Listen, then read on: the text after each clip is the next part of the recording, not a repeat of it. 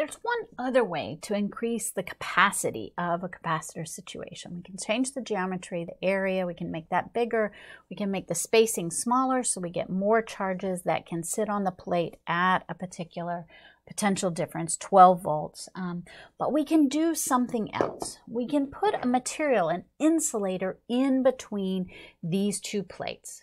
So we can put in what's called a dielectric an insulator. And when we put this insulator in, so I'm going to put it sort of right here for right now, not completely filling it, but we, um, we'll say it, it's like that. What happens in an insulator is that, remember it's going to be attracted to this, but it doesn't allow um, the electrons to move, right? Well, uh, insulators don't allow that.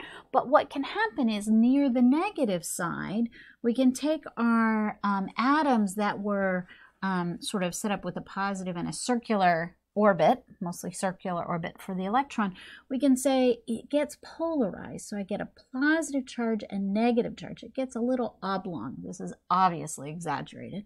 Atoms are nowhere near this big, and the polarization really is not this dramatic, okay? But that's the idea, which of course impacts the nearest neighbors, plus minus, and its neighbors all the way up. So we get this little bit of polarization. And this polarization is such that, hey, there's a positive charge here, that can pull up some additional minus charges here and pull up some additional positive charges. So we get increased capacity. So we get increased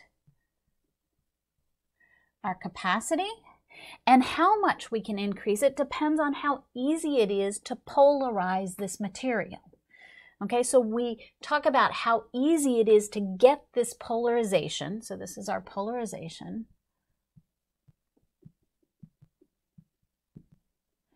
How easy it is to polarize the material, we connect that to something called our dielectric constant.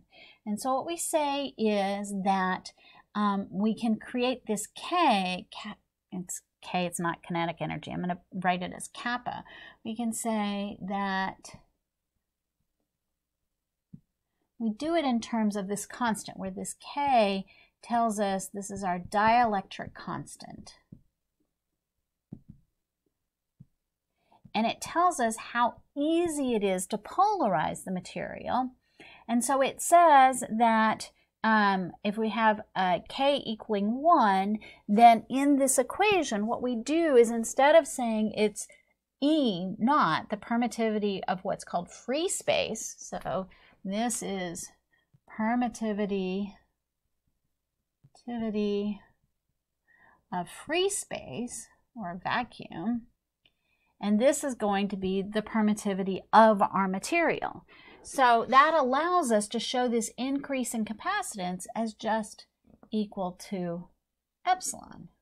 So that if kappa is equal to 1, then this goes back to basically RE0. But for our dielectric material, we might have one where this kappa or this K, this dielectric constant, is like 4. Then we've got 4 times the capacitance just from this polarization.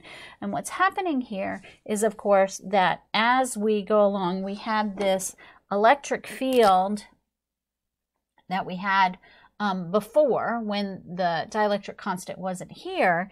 And then this sets up a little tiny electric field in this way. This is called our induced electric field. And so then this electric field can sort of increase to so that this plus this get, get us our original electric field back. At the same voltage, we can hold on to more charges.